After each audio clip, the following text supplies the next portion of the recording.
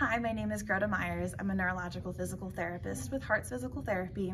I specialize in working with people with neurological diagnoses, including stroke, Parkinson's disease, brain injury, and multiple sclerosis, and more.